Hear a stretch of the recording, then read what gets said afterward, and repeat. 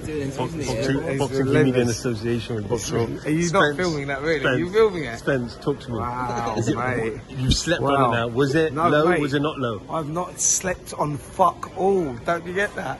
We've gone. Explain. You've been on the journey. Where have we gone?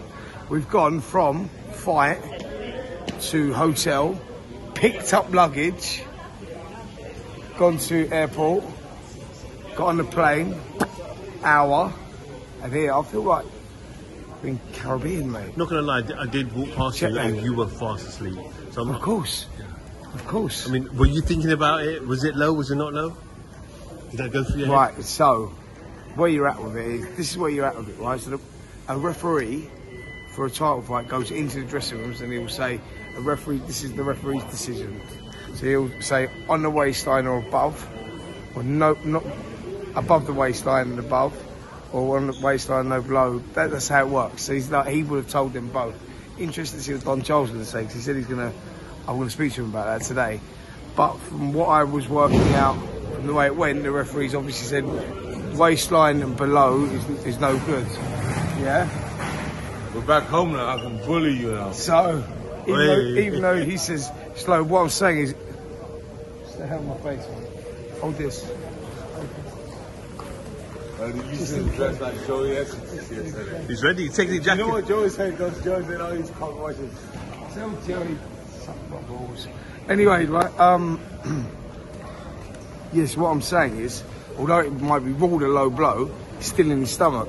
And what he's done is he's used experience to stay down because Daniel would have gone, I've got him, I've got him. And you saw he was pumped, he was revved, he was there. And what Usyk done was stay down for five minutes. Daniel's gone from being there to, uh, he's come back down again. So he's took, he's took the flow away from him. Does that make sense? You know, there was a moment where Usyk was. It seemed like he was about to start, Yeah. and then it looked like he got instructions from the corner to say, Absolutely. Smart. Just using experience. So, it is what it is, man. I feel sorry for Daniel and the team because he had in that moment. That moment was there. The referee could have picked him up and gone, come on, get on with it. We've seen referees do that before. Referees going, nah, stay there. Stay there.